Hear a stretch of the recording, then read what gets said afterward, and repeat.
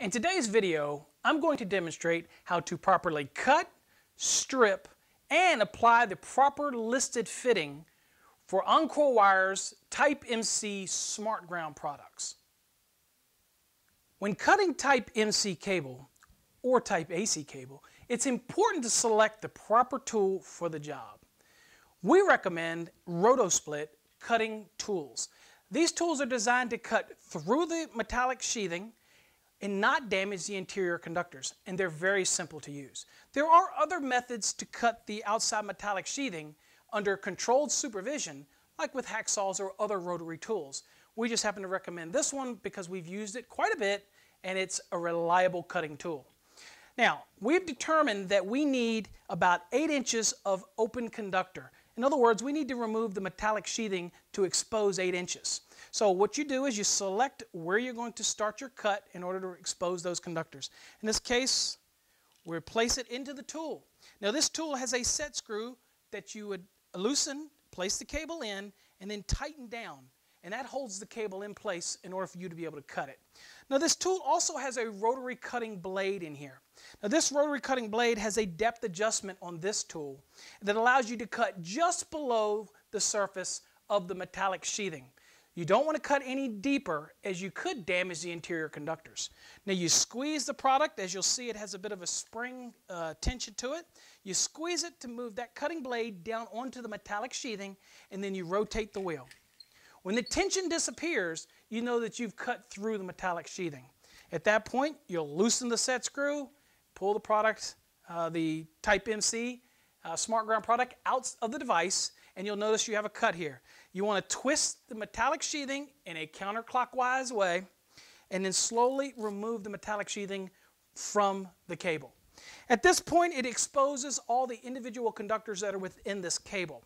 The next thing you're going to want to do is twist these conductors counterclockwise, and that will peel off this paper. Now, one unique thing about this paper is the reason these individual conductors are all individually wrapped is to allow that extra level of protection to these conductors during the installation process, as well as in the cutting process. You've noticed in you inspecting it, and you notice there's no cuts or anything to the paper, so you haven't cut into the insulation of the individual conductors. The next thing you want to do is remove the paper. Now, there's a couple ways you can do this. You could simply remove the paper and use the edge of the metallic sheathing and, and rip it off. Or you could pull it down, bend your conductors away, and you could use a diagonal cutter and you simply come in here and cut away the paper. Now once you cut away the paper, you'll notice that you'll have in this SmartGround product, you'll have a black, a white, or if it was a 12-3 product, you might have a black, a white, and a red, but you also have this aluminum grounding slash bonding conductor. What do you do with this? No, you don't bend it back against the metallic sheathing because doing so changes the outer diameter of the cable and you could have a problem with your fitting or your connector properly terminating onto the cable. Now, you take this aluminum bonding grounding conductor and you bend it against the metallic sheathing approximately 120 degrees to 180 degrees. And what that does is it creates this bend right at the top of your metallic sheathing. The next thing you're going to do is you're going to take your diagonal cutters again and you're going to go in and you're going to cut off right at the point where it starts to bend, making sure that you don't leave any of this uh, aluminum grounding slash bonding conductor protruding past the outer perimeter of the cable. That way we'll keep it from inhibiting the fitting from sliding down on the cable properly. You cut that off and you're done with that. The aluminum grounding and bonding conductor makes intimate contact with all of the convolutions through the entire length of the cable. In that way, it is now an effective ground fault current path and will serve as an equipment grounding conductor in this type of product. That leaves us with a black and a white, but there's one more step you need to do. Remember when you used that roto tool and you cut this metallic sheathing? It left a sharp point on the metallic sheathing. You want to bend the conductors away from that sharp point take your diagonal cutters again and you want to go in and you want to cut off that sharp point. The reason you're doing that is you want to create a square surface so that connector will fit properly down onto the cable. Now, once you've done that and you've trimmed back the aluminum grounding slash bonding conductor, you've trimmed back the paper, Now you're ready to select the proper fitting or connector to complete this process. Now, this product is unique because it is a Type MC, but it is a smart ground product. And as we talked about, that interior aluminum grounding slash bonding conductor makes intimate contact with all of the convolutions within this cable for the entire length of the cable. What it's doing is creating an effective ground fault current path in the metallic sheathing without the need for an interior insulated equipment grounding conductor. So this product serves as the effective ground fault current path as well as the equipment grounding conductor path, which is serving a grounding and a bonding type function. Now, we need to select the connector. Now, since this product is unique, it's not like typical MC. We need a connector or fitting that is listed for use with this special product. The fitting that you're going to need to select is an MCI-A fitting. Now this fitting we're using today was supplied to us and it is actually a triple function fitting. What does that mean? Well this fitting is designed for use with type AC cable, type MC cable, and the more enhanced type MCI-A products like we have here in our Encore Type MC SmartGround.